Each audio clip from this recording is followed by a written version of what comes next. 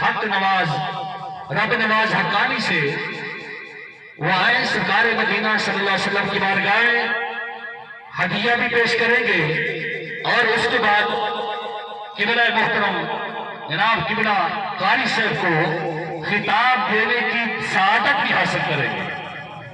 बड़े खुशकिस्मत है कि अल्लाह ने इतने प्यारे प्यारे लोगों का दीदार अता फरमाया और इनकी ज़ुबान से कुरान और साहिब कुरान का ज़िक्र की सादत अता फरमाई नारे तकबीर।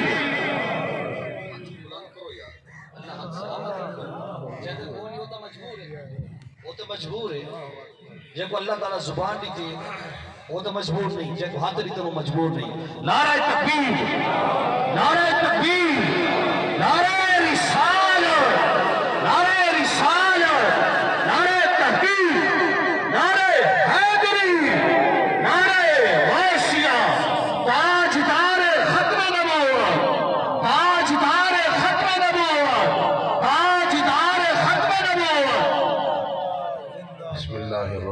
बिस्मिल्लाहिर्रहमानिर्रहीम नहमदुहु व नुसल्ली व नुसल्लिमु अला रसूलिहिल करीम अम्मा बादु फअऊज़ु बिल्लाहि मिनश शैतानिर रजीम बिस्मिल्लाहिर्रहमानिर्रहीम वमा अरसलनाका इल्ला रहमतल लिल आलमीन आमन्तु बिल्लाहि सदक़ल्लाहु मौलानल अज़ीम इन्नल्लाह व मलाइकतहु युसल्लूना अलन नबी या अय्युहल्लज़ीना आमनू सल्लु अलैहि व सल्लिमू तस्लीमा सलातु व सलामु अलैका या सय्यदी या रसूलल्लाह व अला आलिका व अस्हाबिका या सय्यदी या हबीबल्लाह खुश्क शाखों को वो ताज़ा गुलाब देते हैं खुश्क शाखों को वो ताज़ा गुलाब देते हैं अहद पीरी को वो फिर से शबाब देते हैं पढ़ ले उन पे दरूद, खुदा की कसम, वो आज भी तेरे सलाम का जवाब देते।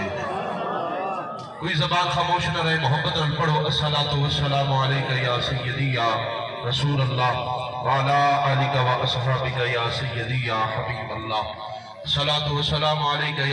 या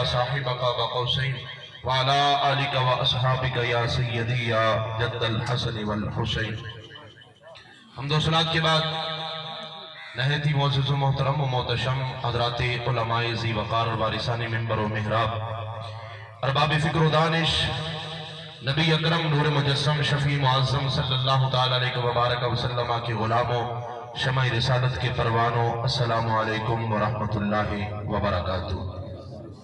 अल्हम्दुलिल्लाह, आज ये अजीम शान महफिल पाक जो सजाई गई है मेरे बरदर मुकर्रम, फाजिल जलील, आलम नबील, खतीब आल सुन्नत उस्ताद वल कुर्रा,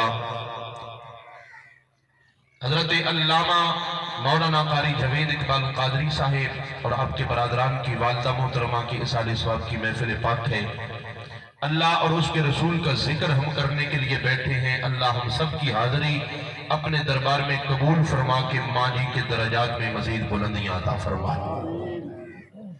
मैंने सिर्फ़ एक बात बयान करनी है और किबलाकारी सबको दावत देनी है।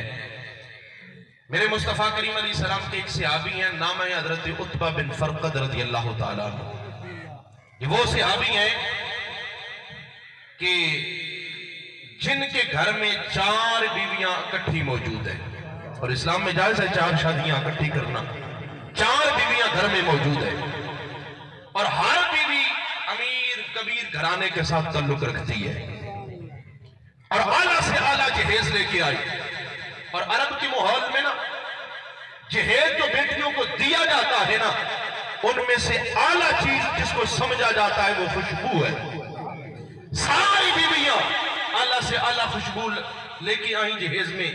फिर अपने घर वालों से भी लेती रही। हर बीवी का दिल ये चाहता है, मैं खुशबू लगा के जनाबे उतबा के सामने जाऊँगी।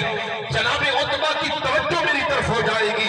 लेकिन जो ही खुशबू लगा के जनाब उतबा के सामने जाती है, उसकी खुशबू मांद पड़ जाती है। जनाब उतबा के जिस्म से खुशबुओं के हुल्ले आने लग जाते हैं। चारों बीवियाँ बड़ी परेशान। इस परेशानी के आलम में एक दिन वो चारों बैठ गई इकट्ठी। आपस में किया मशवरा। आपस में मशवरा करके ना कि पूछ रहा है जनाब उतबा से? इतने देर में जनाब उतबा भी आ गए। अब फरमाने लगे, बीवियों को खैर है, आज तुम चारों इकट्ठी बैठी हो। वो कहने लगी, आज हमने एक बात आपसे पूछनी है। फरमाया, बताओ, क्या कहना चाहती हो? आपने फरमाया बताओ, क्या कहना चाहती हो? चारों बीवियाँ बोल के कहने लगी अरे उतबा, बताओ, जो खुशबू तुम लगाते हो, ये खुशबू कहाँ से खरीदी है? हमने आला आला खुशबू ये मंगाई, लेकिन सामने आती है। हमारी खुशबू ये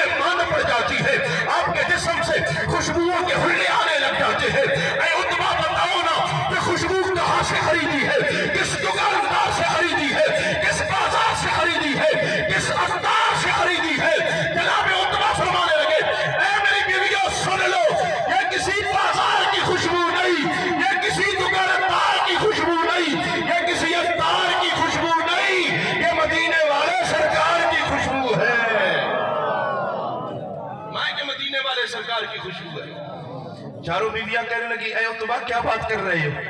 जिस नबी का तू गुलाम, उस नबी की हम भी खादमा है। जिस नबी का कलमा तूने पढ़ा है, हमने भी उस नबी का कलमा पढ़ा है।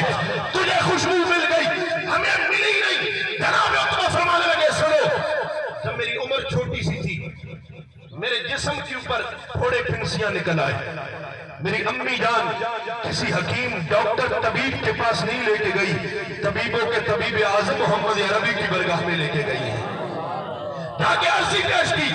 अल्लाह के महबूब ने मुझे फरमाया उतवा पर्दे में जाओ, अपने सतरे औरत को ढांप के ला मर्द का सतर है नाव से लेके घुटनों तक। जनाबी उतवा फरमाती है, मैं सतर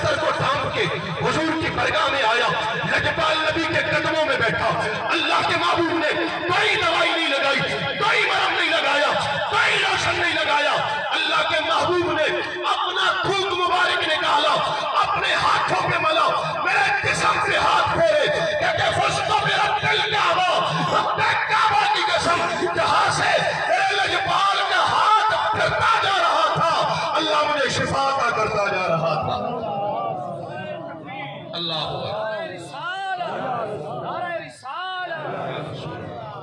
फरमाया अल्लाह के महबूब, ये थूक मुबारक मेरे जिसम पे लगा।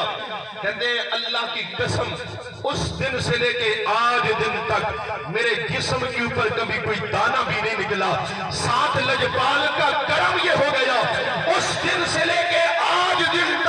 मुझे खुशबू लगाने की ज़रूरत ही नहीं पड़ी। मेरे जिसम से खुशबुओं के हुल्ले आते हैं। उस लजपाल आका के ज़िक्र की महफिल हम सजा के बैठे हैं। अल्लाह हम सबका आना अपने दरबार में कबूल फरमाए। आइए, लाहौर की दाता की